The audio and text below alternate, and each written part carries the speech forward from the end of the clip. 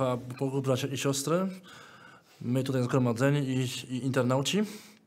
Tematem, którym chcę się z Wami podzielić jest coś, co w dzisiejszym czasie jest bardzo często słyszane, czy to w telewizji, na ulicach, w rozmowach. Słowo, które kiedyś nie miało takiego wydźwięku, jakie ma teraz. E, Słowo to jest antysystemowość. Słowo, które w dobie koronawirusa, w dobie zmian na świecie, w dobie zmian też w kościele, bardzo często już teraz nabiera innego wydźwięku, wydźwięku wręcz takiego codziennego. Zawsze gdzieś idziemy, gdzieś to idzie za nami, gdzieś słyszymy antysystemowość, ja jestem antysystemowy, antysystemowa. I tak, kiedy tak rozważam tę, tę kwestię, Duch, Duch Święty mi położył temat, którym chcę, się z wami, którym chcę się z Wami podzielić. Temat ten nie jest prosty, bo będzie dotykał rzeczy, które są kontrowersyjne bardzo często. Ale uważam, że jako dzieci Boże e, powinniśmy mieć jasne stanowisko, jaki jest nasz stosunek do tego, co się dzieje na świecie tak naprawdę. Jak my, jako dzieci Boże, e, powinniśmy na to patrzeć. Jak mieć o tym zdanie. Sama definicja antysystemowości jest to przeciwstawienie się jakiemuś panującemu systemu politycznemu, mentalnemu, przeciwstawienie się czemuś, co funkcjonuje w danej, w danej okoliczności. Często się mówi, że antysystemowość to jest tylko popieranie danych teorii spiskowych, że jakiś miliarder jest zły, jest sługą diabła itp. itd. Bardzo często można spotkać się z takimi że tezami. No ale pytanie, czy my jako chrześcijanie powinniśmy brać to na serio tak naprawdę, czy po prostu zostawić to i skupić się na tym, co do nas należy jako, jako dzieci Bożych.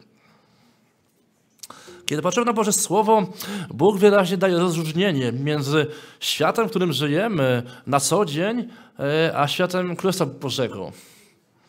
I generalnie Biblia bardzo dużo o tym mówi. Już od samego Starego Testamentu, gdzie możemy czytać, że Izrael jako naród wybrany był narodem predestynowanym do tego, aby być światłem, aby być tym narodem, który będzie większy nad inne.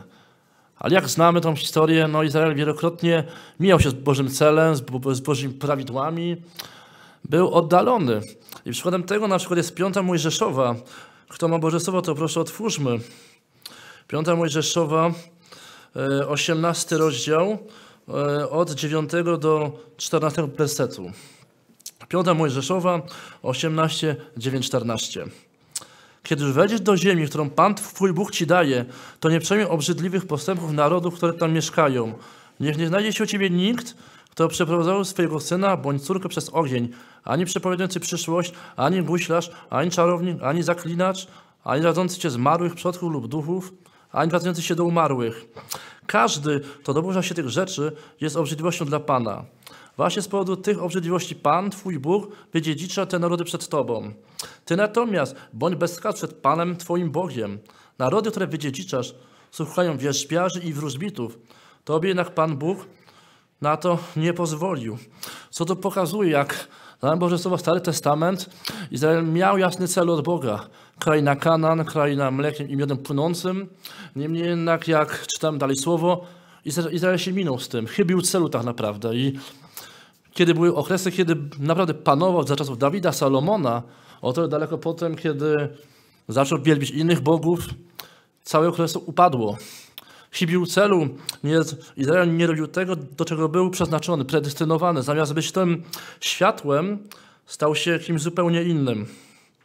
Ale teraz, gdy żyjemy w Nowym Testamencie, ta rzecz się nie zmieniła. My nadal mamy być światłem. I teraz jak my, jakoś, jak my jako dzieci Boże powinniśmy się odwoływać do tego, co mamy na świecie? Rzymian, 12 e, rozdział, e, wers 1-2. Rzymian 12, 1-2. Zachęcam was, was zatem, bracia i te siostry, ze względu na miłosierdzie Boże, abyście oddali swe ciała na ofiarę żywą, świętą, miłą Bogu, jako wyraz waszej rozumnej, wypływającej z głębi ducha służby. I teraz bardzo ważny werset. Nie podporządkujcie się wzorcom tego wieku, a bardziej dosłownie czasów. Niech was przeobraża nowy sposób myślenia, abyście potrafili rozpoznać, co jest wolą Bożą, co jest dobre, przyjemne i doskonałe. Te wersety jasno o tym mówią, jacy powinniśmy być, że musimy być przykładem, że nasze myślenie nie może być tak jak świat, że musimy wyraźnie odstawać, czyli pokazywać, że można inaczej bo jesteśmy nowymi stworzeniami, należymy do Jezusa, mieszka w nas Duch Święty I dlatego powinniśmy zachowywać się w takim okresie szczególnie przyzwoicie, aby nie było tak, że dziecko Boże się nie różni od, od człowieka z, z tak zwanego świata. Ale pytanie, czym jest, czym jest ten świat? Bo często różnie go, go definiujemy. Jak patrzę na Boże Słowo i na to, co jest teraz, świat to bardziej to jest jakby system rzeczy, który funkcjonuje wokół nas, który znamy z dawnego życia i który jest totalnie inny od tego, od, od, od, od rzeczy Królestwa Bożego, od Królestwa, w którym jesteśmy. I, ta, I, ten świat, ten system, który jest wokół nas, do którego musimy się oddalać, być po prostu przeciwwagą, on, on cechuje się egoizmem, humanizmem, czyli ludzkie potrzeby są najważniejsze, że, że, że tylko człowiek, on jest na pierwszym miejscu, że relatywizm moralny, czyli to, co kiedyś było złe, nieadekwatne, nagle jest dobre, czyli aborcja, eutanazja, coś, co nas jako dzieci Bożych nie powinno być w ogóle brane pod uwagę, żeby to było legalne, wręcz to jest grzech, jak czytam Boże Słowo. To jest po prostu brak zasad moralnych, czyli coś, co Królestwo Boże nie aprobuje. Czyli Królestwo Boże jest pewnym standardem. To jest tak, jak Jezus mówił, że jeżeli spojrzysz porządliwie na kobietę, bądź teraz faceta, po prostu już masz grzech. A tu jest coś więcej po prostu. To pokazuje, że my musimy się odróżniać. My musimy być, tą, być tym innym, znaczy tym normalnym swojej inności tak naprawdę. I zobaczcie, że Jezus tutaj podwyższył standard. Królestwo Boże podnosi nam standard. Że musimy by, być inni. Ale wiedzmy też, że owy świat to nie jest przyroda, nie świat, który oglądamy, drzewa, lasy, bo to jest coś, co Bóg stworzył, ale człowiek z racji tego, że zapanował grzech, go niszczy i, i niszczy dalej. To są zupełnie dwie różne kwestie. Przyroda, a system tego świata to są dwie różne kwestie. Otwórzmy sobie Ewangelię Jana, 15 e, rozdział. Ewangelii, Ewangelii Jana, 15, wers 18, 23. Ewangelii Jana 15, 18, 23. Jeśli świat was nienawidzi, wiedzcie, że mnie znienawidził wcześniej niż was.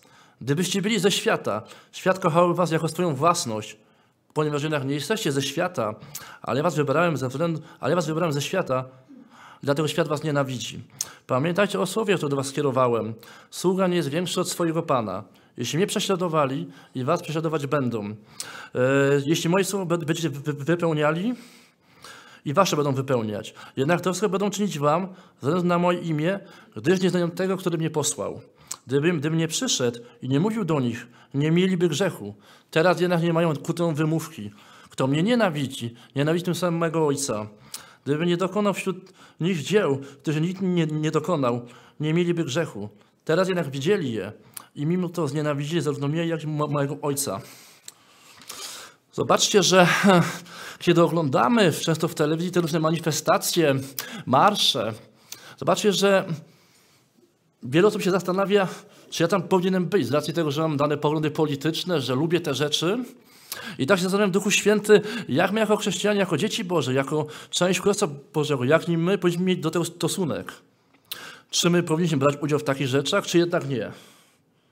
I tu właśnie to, to, to właśnie pytanie, co jest ideą naszego życia? Było takie zdanie, że warto walczyć dla idei.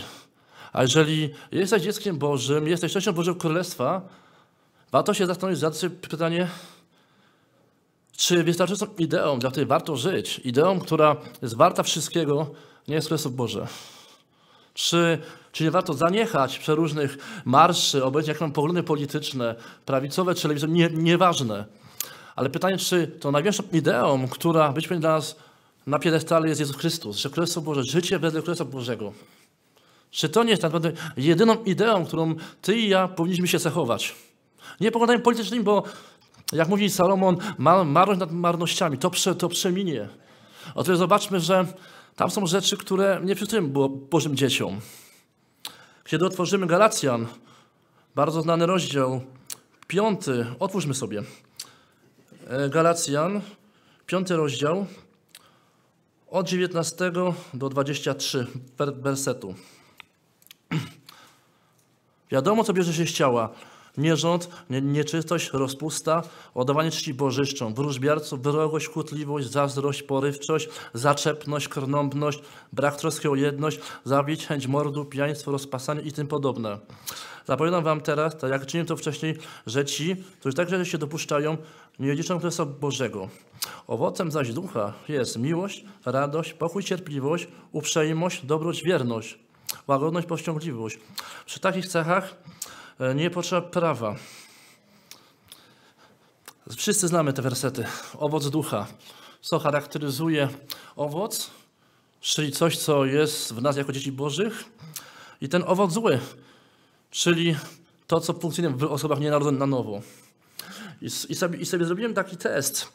Wziąłem pod uwagę wszystkie te manifestacje, te wszystkie antysystemowe rzeczy, które wykrzykuje się na co dzień na świecie i sobie zestawiłem. Gdzie, czy tam jest owoc ducha, czy jednak jest, jestem przeciwstawny. I to jak zrobiłem tą obserwację, okazało się, że jeśli chodzi o owoc ducha, ten pozytywny, ten cechujący się dla dzieci bożych, on tam nie występuje. To teraz zadaj sobie pytanie, czy jeżeli jesteś fanem tego typu rzeczy, takich manifestacji, marczy, jakkolwiek, no to zastanów się, czy warto.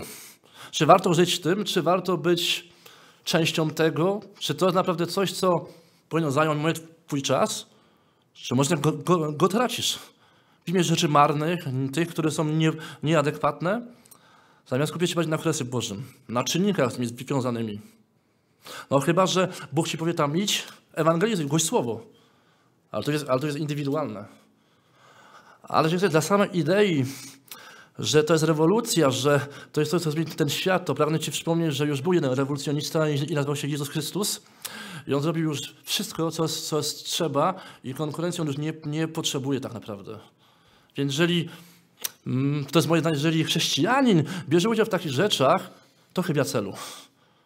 Bo jak popatrzymy, tam nie ma rzeczy, które są związane z owocem ducha. Nie ma tego. No, no, ano nie ma. Można na siłę szukać, nie znajdziesz tego, gwarantuję. Ale znajdziesz tam pijaństwo, rozpasanie, bicie, etc. To nie jest coś, co powinno nas cechować. My nie będziemy się nawet tym zapytać tak naprawdę. W ogóle. Otwórzmy sobie pierwszy list Jana. E, pierwszy list Jana, drugi rozdział. 15, 15 17. E, pierwszy list Jana, drugi rozdział, 15-17. Nie kochajcie świata, ani tego, co go napędza. Kto darzy miłością świat, nie ma w nim miłości Ojca.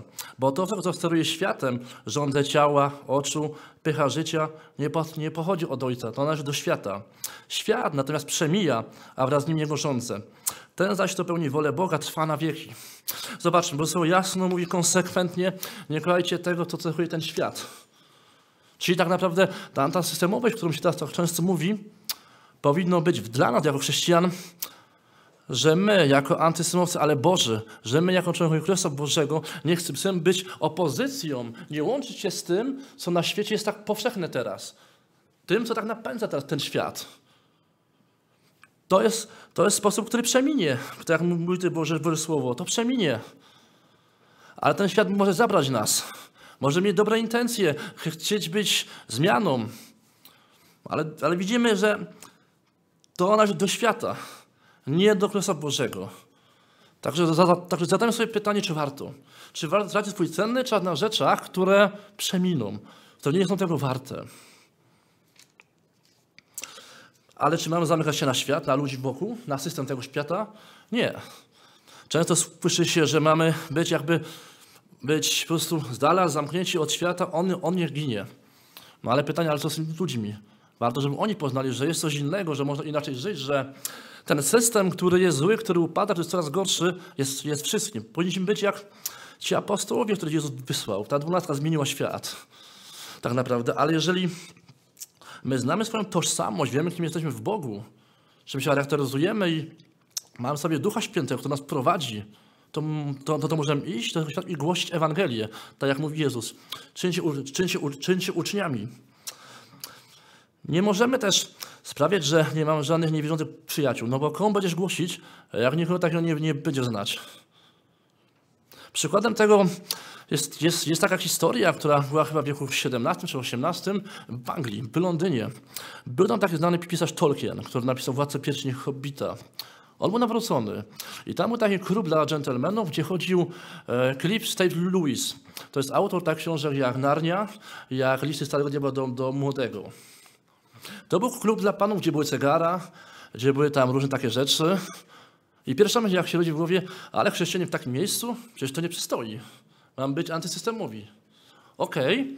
ale załóżmy, ale, ale to, że Tolkien tam przyszedł po to, aby jemu głosić Ewangelię. Tak samo Jezusowi zarzucano, że spotyka się z celnikami, z prostytutkami, z najgorszymi elementami tego świata. Ktoś mógł, i faryzeusze zarzucali, taki Boży człowiek, a chodzi z takimi osobami. Ale Jezus nie robił tego, co oni. On prezentował siebie, to, co ma od swego ojca.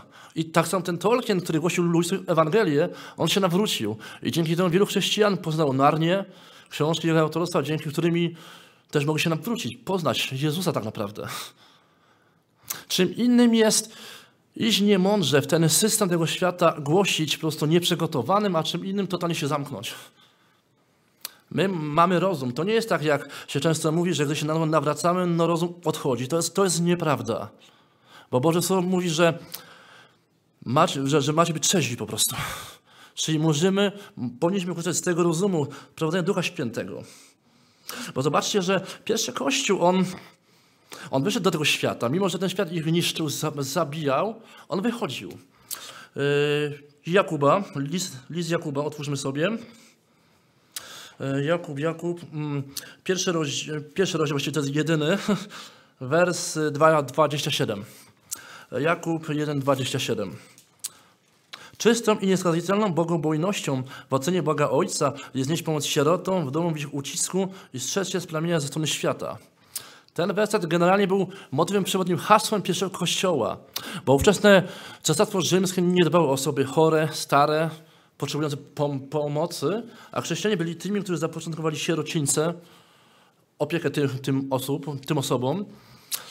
I zobaczcie, co mogło być w głowach tych, tych, tych, tych ludzi, że byli tak niszczeni, tak zabijani, a mimo to wychodzili z pomocą, z poselstwem Bożego Słowa, że można inaczej, chcę, chcę, chcę, chcę wam pomóc.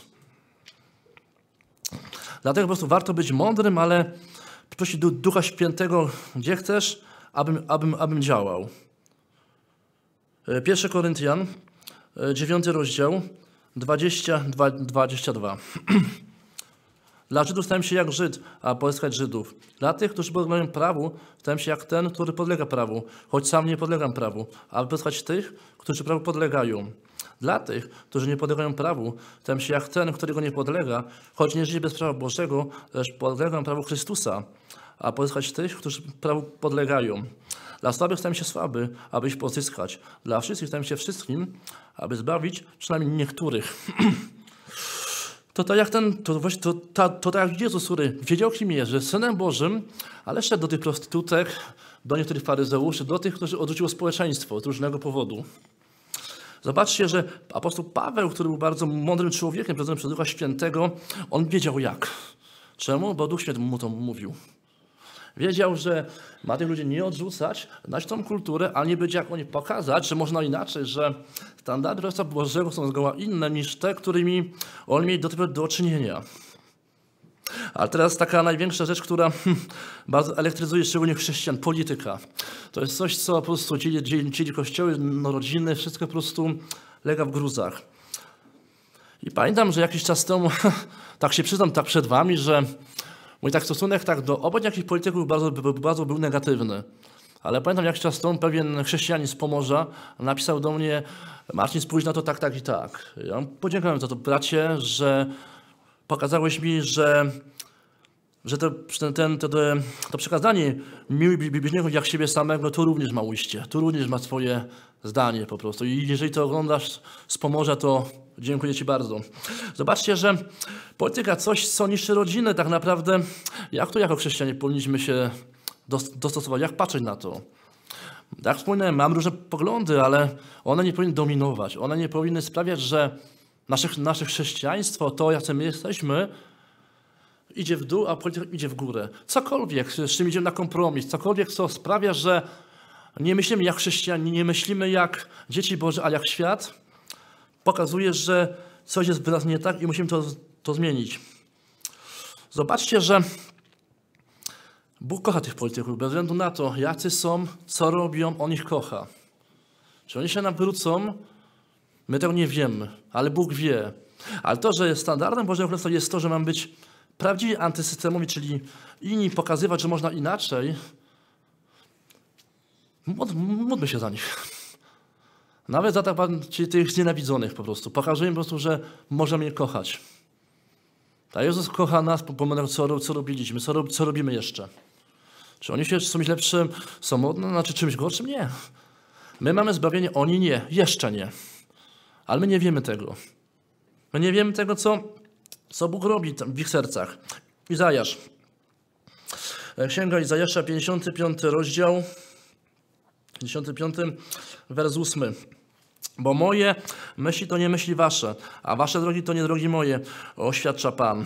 Co to pokazuje? My mamy jedno, Bóg, Bóg drugie. My nasze myślenie, Boże, ja wiem lepiej, wiem jak to zrobić. A mówi, nie, ja mam inny sposób. No i kogo tu będziemy słuchać? Czy tych wszystkich wiadomości, które mówią, mamy iść na barykadę, mamy robić to, to, to. Czy jednak, Boże, co Ty chcesz, abym zrobił? Boże, ja nie daję rady, moje emocje już skaczą. Módl się. Duch Święty jest w Tobie. Powiedz Ci. Zobaczcie, że Jezus, który e, przybył już do Izraela, który się tam narodził, on, on w ogóle nie zanegował władzy rzymskiej. Natomiast faryzeusze, jego też apostołowie, oni wręcz byli źli. Kiedy Ty nam dasz e, królestwo, na to, na to czekamy? A Jezus im, im, im mówi, że Królestwo Boże to jest sprawiedliwość, e, pokój i radość w Duchu Świętym. Coś, co w ogóle dla nich było że jak? Oni oczekiwali kogoś innego. Oni oczekiwali, że Mesjasz zajmie się ich królestwem jako państwo, że wyrzuci Rzymian, że da nowe królestwa, a jednak było coś innego.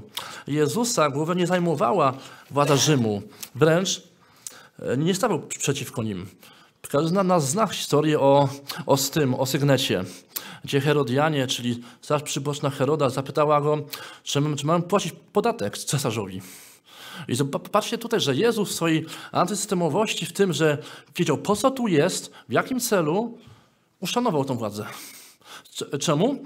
Bo to nie była jego rola, to nie była jego misja, aby niszczyć Rzymian, to, to cesarstwo, ale po to, aby nauczać o Bożym, aby umrzeć i zmartwychwstać. Żeby ludzie mieli wybór. I zobaczcie, że nigdy Jezus nie zajmował się sprawami politycznymi Rzymu. Skupił się na celu, jaki miał. Nie bał się wziąć podstępem. Wręcz był zaskoczony wiarą Korneliusza, setnika rzymskiego, jak mówi Boże Słowo, że naprawdę takiej wiary w Izraelu jeszcze nie widziałem. On totalnie skupił się na, się, się na Bożym. Nie na wszystkich problemach, które otaczający świat dodawał. Ale nawet wśród jego ludzi był jeden Piotr, który bardzo się oburzył, kiedy Jezus powiedział, że on musi umrzeć. Piotr mówi wtedy, nie spadnie to na, to na siebie. A Jezus mówił, idź precz przeciwniku. Bo myślisz, jak ten świat, nie jak Królestwo Boże.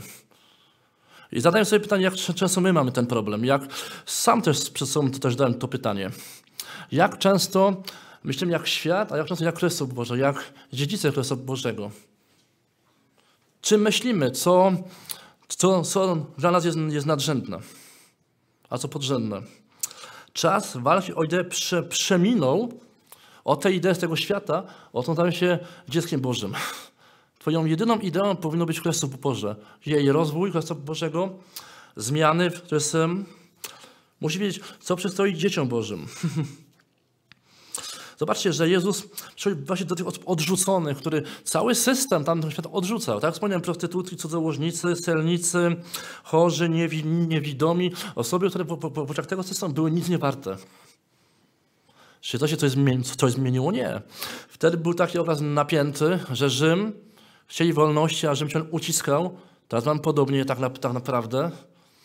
Tylko jakie ma myślenie?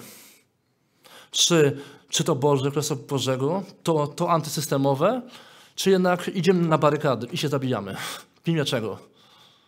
Zobaczcie, że na, na historię świata no, chrześcijanie no, nie brali udziału w takich, w takich rzeczach. Luther, Wesley, oni byli bardziej osobami, które w zakresie królestwa działały, ale nie, ale, ale nie zbrojnie. Nie to powinno cechować nas. Nie takie podejście po prostu.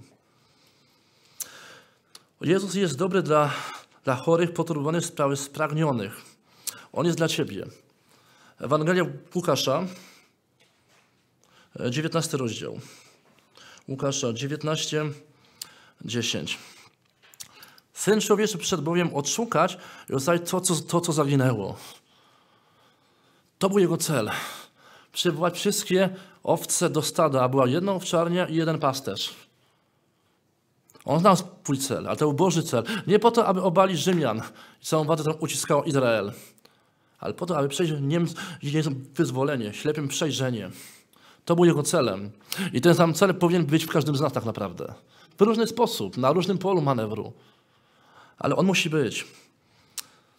Ta Boża odwrotność wobec tego, co jest powszechne i kłócące się z chrześcijaństwem, no, musi być tą przeciwwagą. Bo jeżeli nie my, to kto? Boże Słowo mówi, że, e, że kamienie będą mówić, kiedy my będziemy milczeć. Ale to nie o to tu chodzi. To my mamy być światłem tego, e, tego świata. To my mamy pokazywać tą prawdziwą odmienność, tą antysystemowość. I nigdy nie łączyć się z tym, co jest światowe, co jest cielesne pod tym kątem, bo to nas zgubi tak naprawdę. Mamy skupić się na chrześcijaństwie, na to, kim jesteśmy. Otwórzmy sobie Mateusza, e, piąty rozdział. 13 werset. Są bardzo znamienite słowa, które Jezus powiedział do swoich apostołów. Mateusz 5,13. Wy jesteście solą ziemi. Gdyby sól zwietrzała, nikt smaku by jej nie przewracał. Byłaby nieprzydatna, sam raz do wyrzucenia i podeptania przez ludzi. I może jeszcze 14 werset. Wy jesteście światłem świata. Nie da się ukryć miasta, które leży na górze. My jesteśmy solą tej, tej ziemi tak naprawdę. Jeśli nasza sól zwietrzeje, czym będziemy się różnić od tego świata? No niczym, tylko może fasadowością. Że uwielbiamy, że śpiewamy, a, a, w, nas, a w naszym sercu będzie coś zgoła innego. Weźmy na to wgląd, bo nigdy nie wiemy, kiedy Jezus przyjdzie tak naprawdę. I jakiego nas zastanie. Czy, czy będziemy w tej formie, czy nasza lampa będzie pełna oliwy, czy może jednak będzie pusta i nie, i nie wejdziemy na, na wesele. Zadajmy sobie, sobie to pytanie, w jakim jest, jesteśmy stanie. Izrael jakoś, jako lampa miał być, ale wiem, co się stało. To nie po to, żebyśmy my po prostu mieli takie podejście jak oni. Nie idźmy na kompromisy po prostu z Bogiem. Jeśli ktoś ci mówi, jakaś nowa teoria spiskowa, jakieś obozy, cokolwiek, zostaw to. Bo nie przyniesie ci do pokoju. Przyniesie ci będzie strach, wątpliwości, pytania. Gdzie tu owoc? Zgnił jest owoc. Warto odrzucić wszystkie te rzeczy, bo one nie przyniosą wzrostu królestwu, prawdy nie dadzą, a tylko będą mącić nam w głowie. Bo po prostu jasno mówi, co, co będzie kiedy. Kiedy będą znak besty, kiedy ucisk, to po prostu bardzo mówi jasno. Tym, te, te, tego się trzymają, a nie rzeczy, które są w internecie, które są po messengerach. Czym czym my żyjemy? Jest takie po, powiedzenie, yy, co, je, co jesz, tym jesteś. Czym, czym się karmisz? Bo Bożym Słowem, temu co mówi Jezus, czy takimi rzeczami, które pokoju ci na 100% nie, nie dadzą. Bo to nie jest Słowo Boże. On daje sprawiedliwość, radość i pokój w Duchu Świętym. To jest coś, czego ten świat nie ma i mieć nie, nie będzie. To my, jako dzieci Boże, możemy dać to zaproszenie wszystkim, kogo znamy. Możesz mieć naprawdę inne życie. Nie musi być częścią tego, co oglądasz na co dzień. Ale też jest bardzo ważne, żeby mówić śmiało, że jesteśmy przeciw temu, co jest niszczone, przeciwko braku moralności, przeciwko relatywizmu wartości. To jest coś, co nas jako dzieci Boże powinno cechować, że mam jasne stanowisko, że to jest złe, to jest dobre. I nie pozwolić się zbić tego pantałychu, bo jeśli tak będzie, no to, no to staniemy się letni, staniemy się jak ten świat, po to, żeby mieć spokój. Ale jak czytam Boże Słowo, widzimy to, że letność kończy się jednoznacznie. Jednoznacznie się, się, się kończy. Dlatego co jest dla Ciebie ważne tak naprawdę? Królestwo Boże czy idea tego świata? Królestwo Boże czy po prostu dać mega ostry post na, na Facebooku, bo chip, bo coś takiego? Co jest ważne tak naprawdę? Co jest wartością? I co ma pokrycie w faktach, a co jest kolejnym kłamstwem, aby zasiać niepokój wśród chrześcijan? To jest, to jest bardzo ważne pytanie, które każdy sobie powinien zadać. Czym żyjesz? Czy rzeczami tego świata, czy Królestwem Bożym? Czym, czym, czym żyjesz? Znajdź cel swojego życia w Królestwie Bożym. Kim jesteś Bogu? Jakie masz powołanie, jakie masz dary? I to pokaż. To, to pokaż tym, którzy Jezusa jeszcze nie znają, aby zobaczyli, że można żyć inaczej. Nie żyć tym, co wokół, ale Królestwem Bożym Jezusem. Otwórzmy Ewangelię Jana. Ponownie. 19 rozdział. 9, tak, 19, 9, 9, 11. Są bardzo znane również wersety, to już jest moment przed skazaniem Jezusa, przed, przed biczowaniem Go. Wszedł więc ponownie do pałacu i zapytał Je Jezusa, czyli Piłat, skąd, skąd jesteś? Ale Jezus nie dał mu odpowiedzi. Wtedy Piłat powiedział, ze mną nie, nie chcesz rozmawiać? Czyżbyś nie wiedział, że mam władzę Cię wypuścić i mam władzę Cię, cię ukrzyżować? Jezus odpowiedział, nie miałbyś żadnej władzy nade mną, gdyby Ci to nie dane było z góry. Dlatego większy grzech ma ten, który mnie Tobie wydał. Co tu pokazuje? Piłat pokazał, że on ma władzę, on, on może go uwolnić. A Jezus mówi, tak, a nie miałbyś tej władzy, gdybyś to nie, nie, nie miał z góry, tak naprawdę. Zobaczmy, jak mamy tu kontrast. Dwóch światów. Świata tego ludzkiego, fizycznego i, Bo i, i Bożego.